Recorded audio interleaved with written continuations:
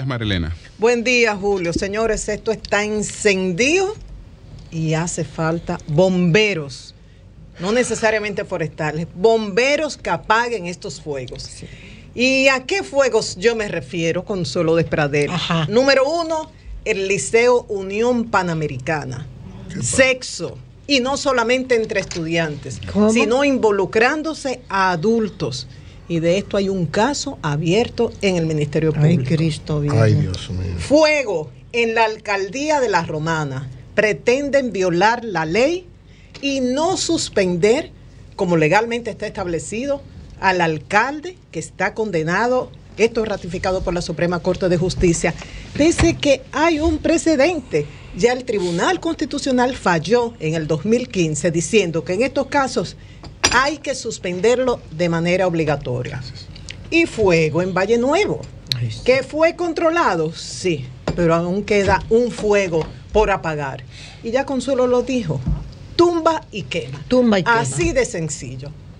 Si por un agricultor inició este fuego, que se compara con el del 83, es tan sencillo como prohibir tajantemente la tumba y quema. Vámonos al Liceo Unión Panamericana. ¿Qué ha pasado? Primero con, nuestras fuentes altamente confiables.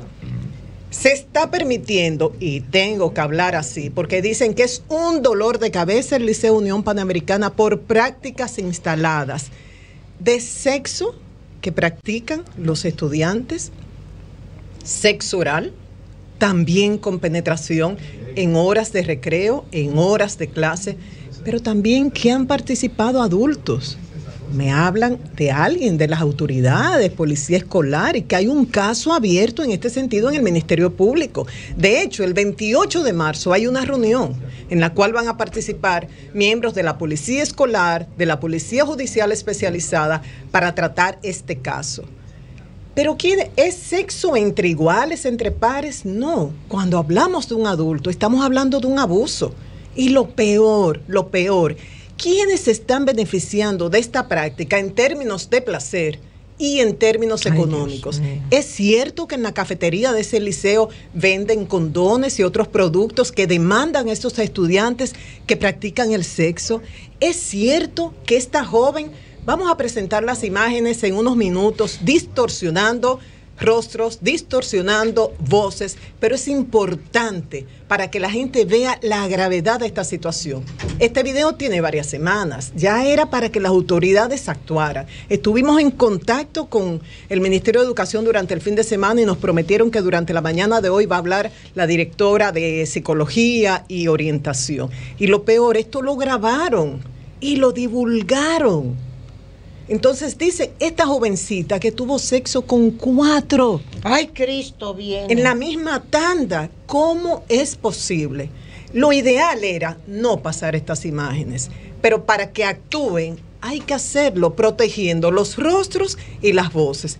Vamos a ver, eh, estudios sociales, algo así, y en un momento dado se ve que están practicando sexo oral y luego oh, oh. penetración.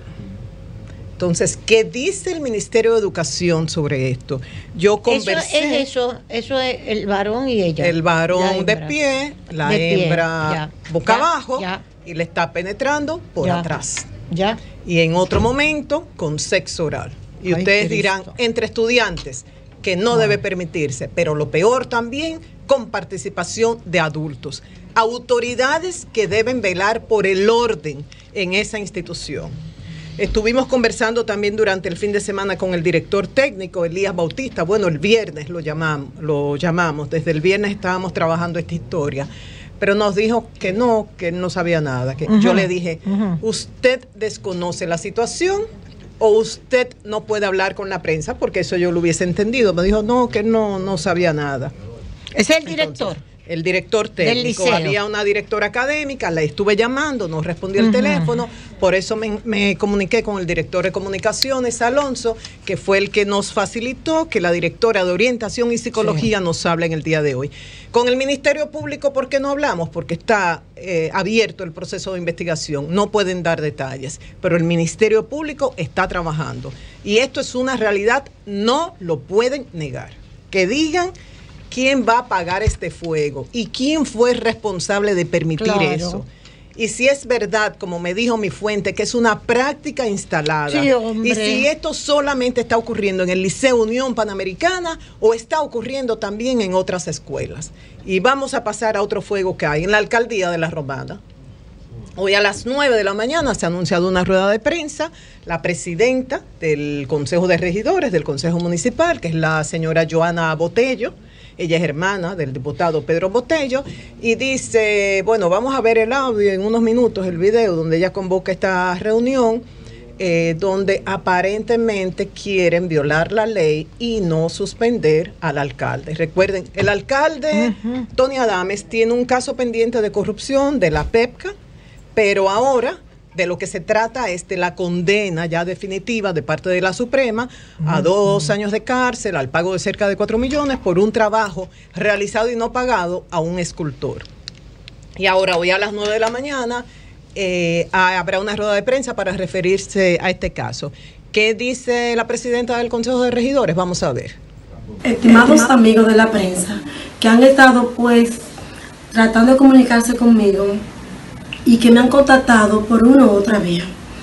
En estos momentos lo único que debo decir es que en ocasión a la situación por la que atraviesa el alcalde municipal de La Romana y en visto de todas las notificaciones, las comunicaciones y la presión mediática que estamos recibiendo, que nosotros primeramente no somos abogados. Yo soy maestra graduada y como no conozco de la ley, lo primero que debo de hacer es consultar a los jurídicos del ayuntamiento y a los abogados que puedan ayudarme con relación a, a lo que se nos está pidiendo en estos momentos, que es la suspensión del alcalde.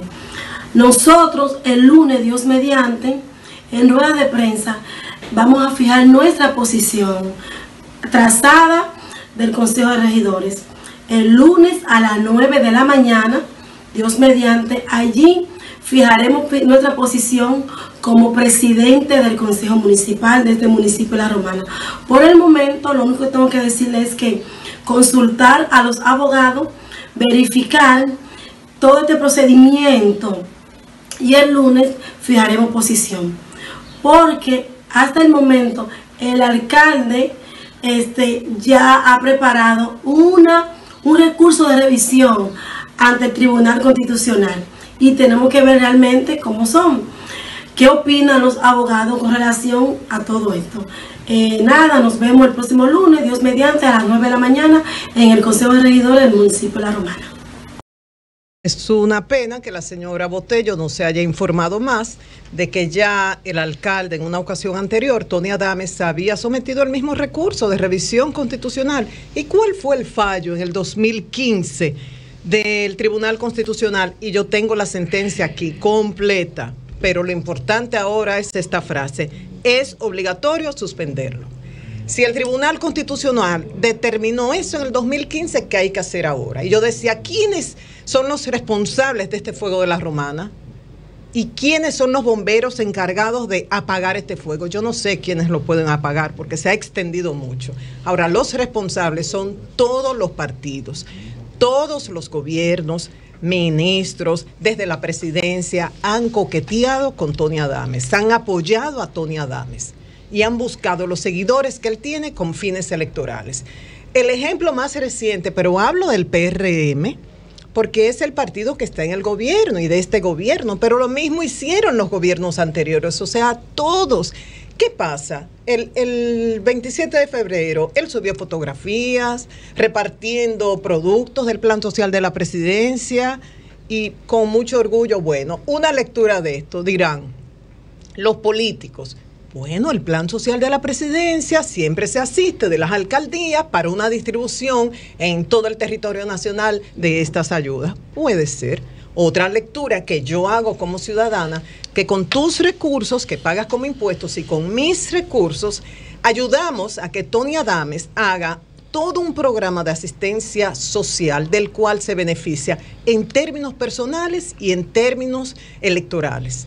Y por eso es una fuerza tan grande que todos los partidos lo quieren como aliado en las elecciones. Y no importa que viole las leyes, no importa que sea acusado de corrupción. ¿Ah? Una sentencia en su contra. Dice Waldi Tavera que hay que suspenderlo. ¿eh? Ah, pero ya tú ves lo que está diciendo. Waldi Tavera me está escribiendo, las decisiones de la Suprema son definitivas y los recursos de inconstitucionalidad no suspenden la ejecución de la sentencia. ¿Y quién, quién está invitando a esta rueda de prensa? Surún, que está actuando como abogado, y el doctor Pedro Botello, el diputado, que es hermana de ella.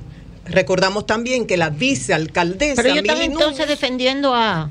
A, a, Tony Adames. O sea que no se no se tiene que que no puede que no hay que suspenderlo. Y te digo una cosa, te digo una cosa, oye Consuelo, sí. nosotros estamos seguros de que es la ley, está la sentencia del Tribunal Constitucional.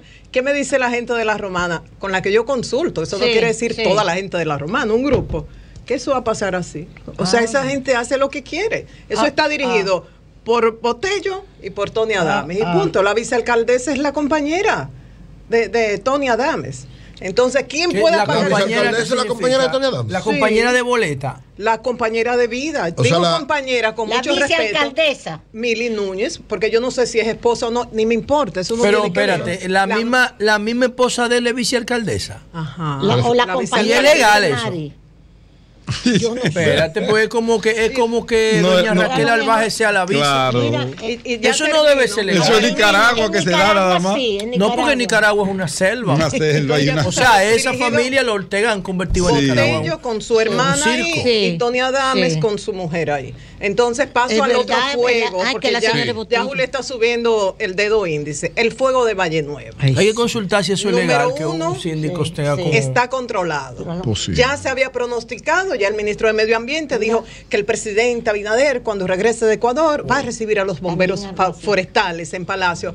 Señores, puro mercadeo. Ya vimos esta, esta imagen de ellos vestidos de amarillo. Lo vimos en marzo, como el 3 de marzo del año pasado, con Orlando Jorge Mer en paz descanse. Lo mismo, fuegos en esta temporada y fueron a recibirlo.